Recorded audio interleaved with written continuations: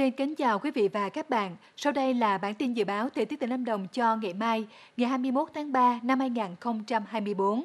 Thưa quý vị, trong 24 giờ tới, tỉnh Lâm Đồng chịu ảnh hưởng của rìa phía Nam, lớp cao là lục địa có cường độ ổn định, sau đó suy yếu.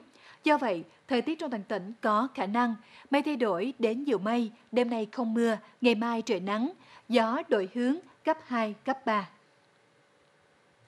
Cụ thể khu vực phía Bắc tỉnh bao gồm thành phố Đà Lạt, huyện Lạc Dương và Đam Rông. Trời nắng ráo cả ngày, hầu như không có mưa.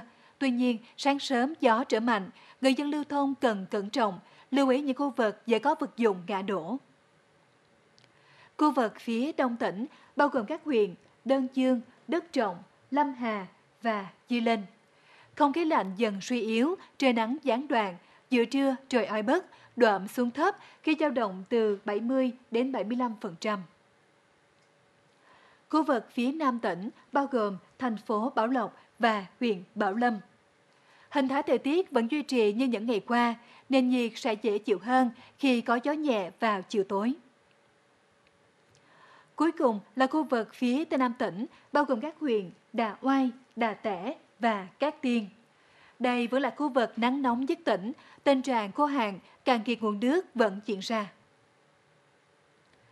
Thưa quý vị, Lâm Đồng không chỉ nổi tiếng với những đồi chè xanh mướt, những vườn hoa rực rỡ và khí hậu ôn hòa mát mẻ. Nơi đây còn sở hữu tiềm năng to lớn trong lĩnh vực du lịch làng nghề, hứa hẹn mang đến cho du khách những trải nghiệm độc đáo và khó quên. Đây cũng là nội dung chính sẽ có trong chuyên mục du lịch cuối tuần, phát sóng vào 22 giờ 35 tối nay và phát lại vào 17 giờ 15 hôm sau. Mời quý vị cùng đón xem. Quý vị và các bạn thân mến, tiếp theo là bản nhiệt độ cho các tăng cảnh trên địa bàn tỉnh và các tỉnh thành trong cả nước. Xin cảm ơn sự quan tâm theo dõi của quý vị và các bạn. Thân ái, chào tạm biệt.